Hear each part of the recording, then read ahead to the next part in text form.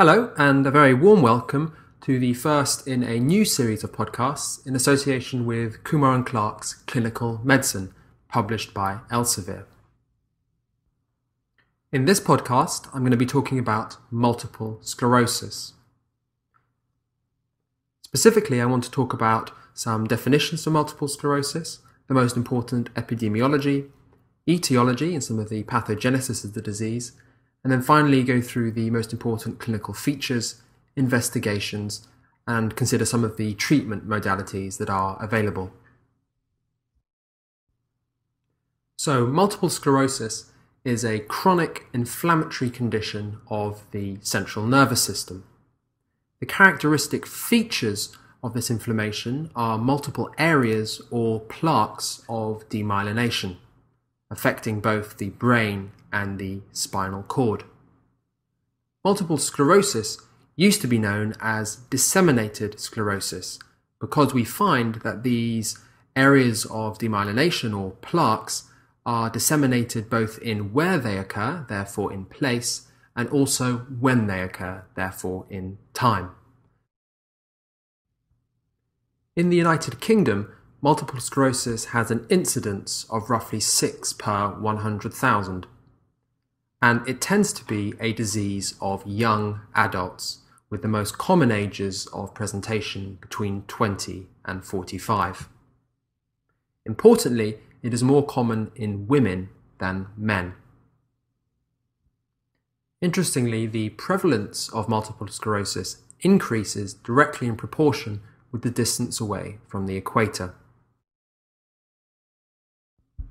The exact pathogenesis of multiple sclerosis is quite poorly understood.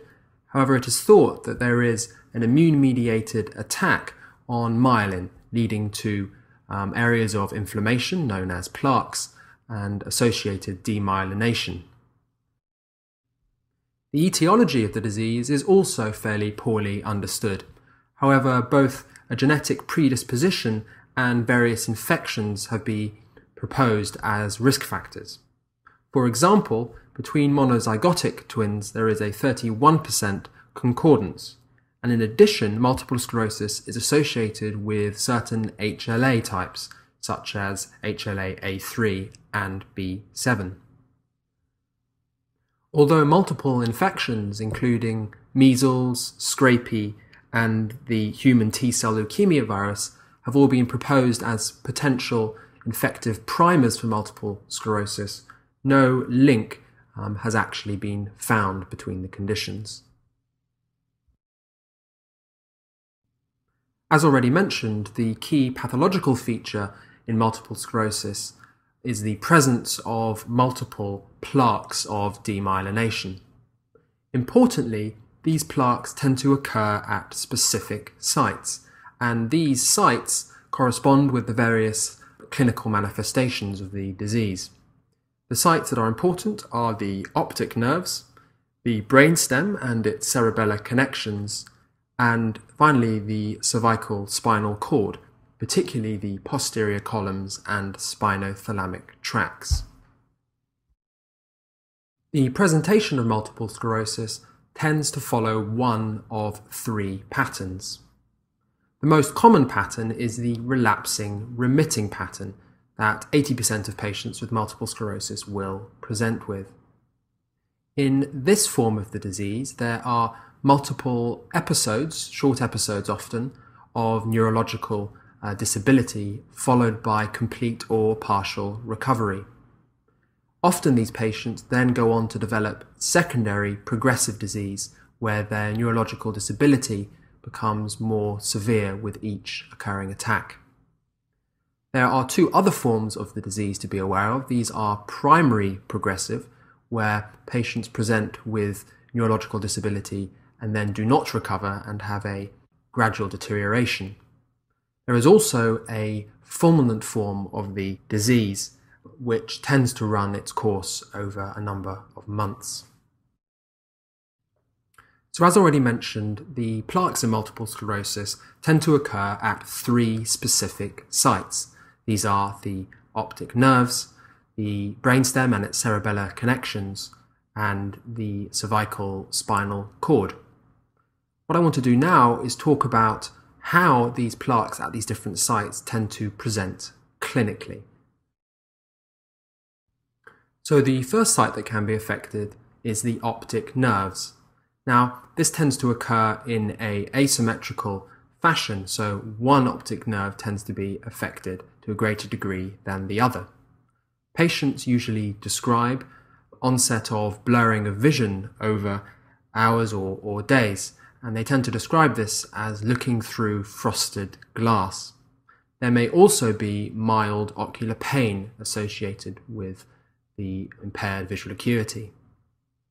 In terms of the signs, sometimes there can be no signs present at all, and this tends to occur most often when the optic neuropathy is retrobulbar, behind the optic disc. If the optic disc is affected, then swelling of the disc may be seen. Many patients with optic neuropathy will also have a relative afferent pupillary defect.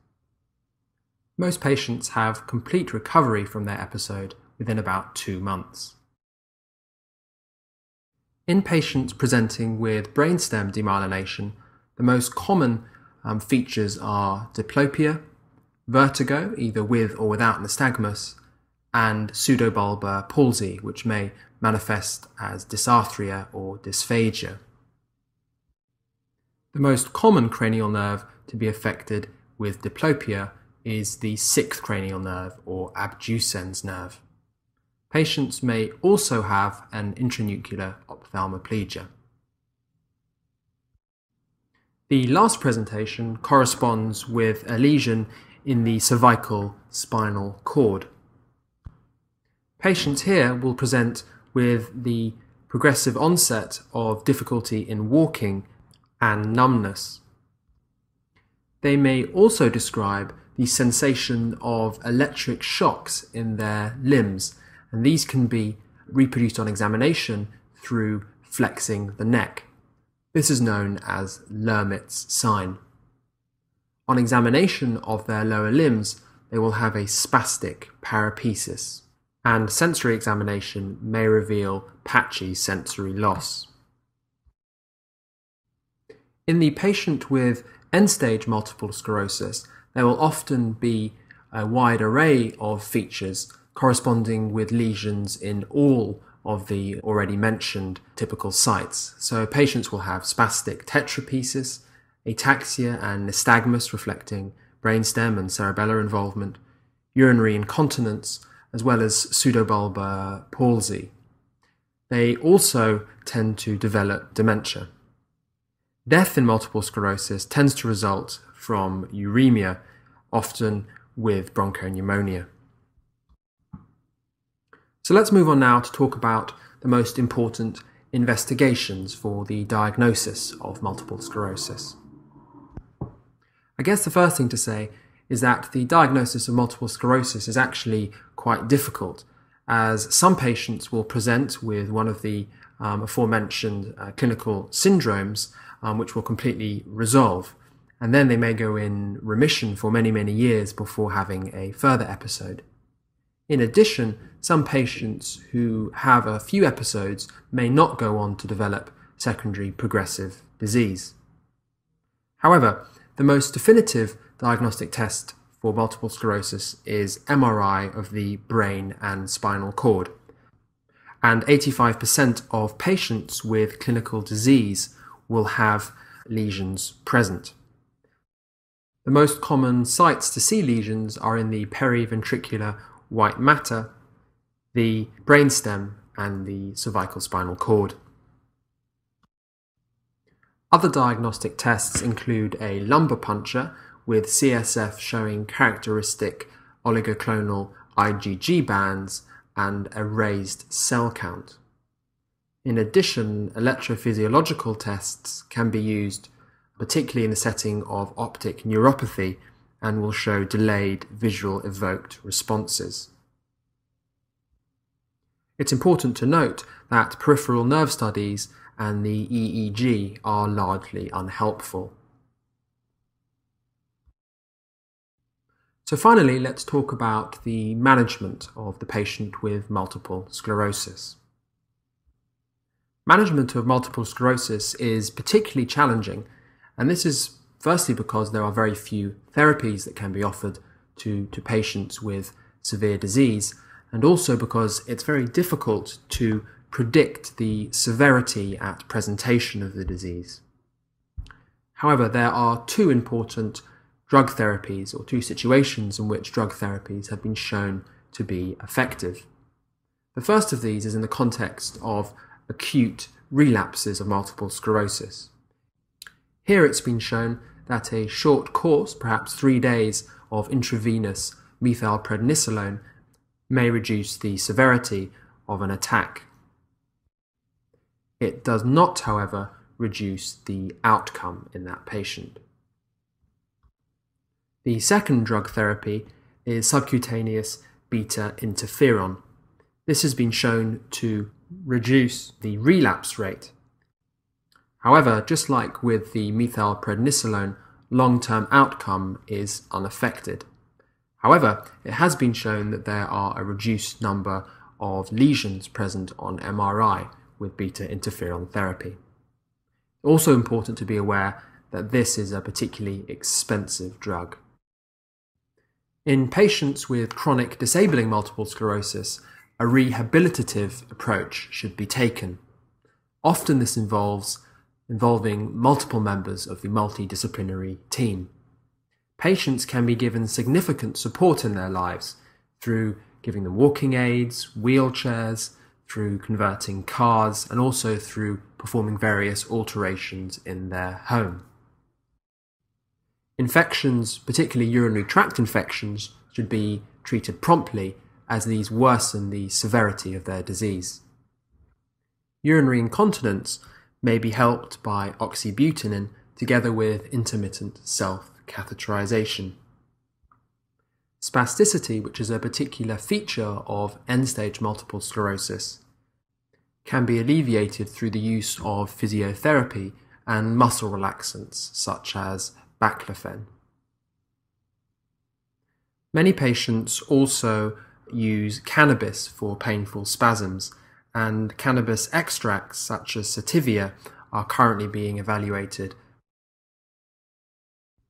So, multiple sclerosis is a demyelinating condition of the brain and the spinal cord. The key pathological feature of the disease is the plaque, and these tend to be disseminated both in time and space. The most common sites that are affected by plaques are the optic nerves, brainstem, and spinal cord, and this broadly corresponds with the various presentations of the disease. The MRI is particularly useful in showing plaques, and 85% of patients with clinical disease will have evidence of plaques, particularly in the perivenular areas. In managing the patient with multiple sclerosis or indeed potential multiple sclerosis, it's important to take a multidisciplinary approach and to provide them with significant education and support. For acute episodes, short courses of intravenous steroids can be used, and in some patients, interferon beta can be used to reduce relapse rate. So that completes this podcast. Thanks for listening. Watch out for more podcasts in association with Kumar and Clark's clinical medicine. If you want to find out more about this book and other books that are produced by Elsevier, check out the Elsevier website or studentconsult.com. So, thanks for listening and see you all soon.